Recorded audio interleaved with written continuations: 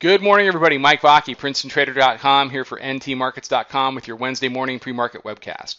Okay, so yesterday we talked about a few things. We talked about how this is a market that's been trading between the upper band and the middle band.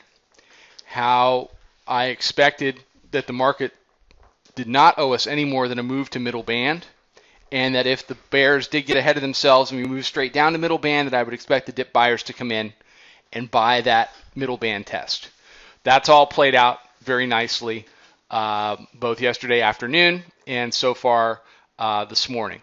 Our low from yesterday uh, is down at uh, 52.75.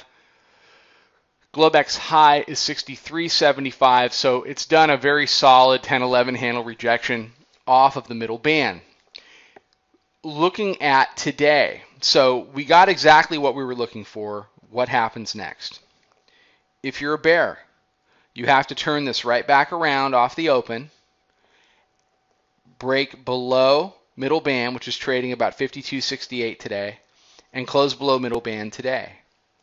If you fail to do that, especially if you get a close above the 69 area, then essentially what's going to happen here is we're going to go ahead and go back to new highs. Why? Because this is a market that wants to trade between the upper band and the middle band. And it's going to continue to do that until it doesn't. So right now, it's, you know, this is a very predictable situation. And I've said before, said it yesterday, if this is what the market wants to do for the summer, that's great. It's a very nice trading market. It's not a good ideological market, not a good perma bull market, it's not a good perma bear market for sure. But it's a very nice trading market if you can keep your eye on the ball and understand where we are in the big picture. So, where are we in the big picture now? We tested middle band yesterday. It's been a successful test. It's been rejected by 10 handles.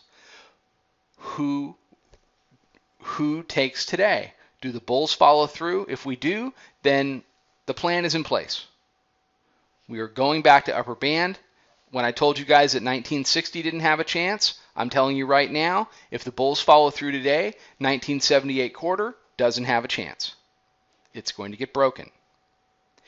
If the Bears turn it around today, if they hold what were Wednesday's highs at 64 half, which we identified as a key level to be broken yesterday and close below, if they establish that band as resistance, break below middle band and close below middle band, then the Bears are in control that kind of a close is going to start to roll the middle band over.